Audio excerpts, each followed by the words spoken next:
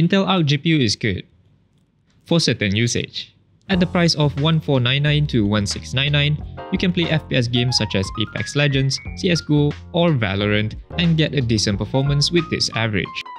But what if you want to play higher graphic demanding games? Well, at 1080p with Intel Super Sampling at performance settings, it is possible to get this average FPS and not suffer from heavy lag. But why get Intel Arc GPU over the other GPU? Well, if you only see the hardware specs of the Intel Arc, it is actually comparable or even more powerful than other GPUs, especially the A770 16GB model. This is also proven by the synthetic benchmark.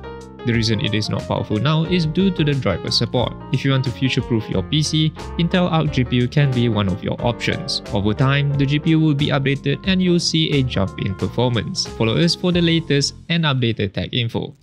Thank you.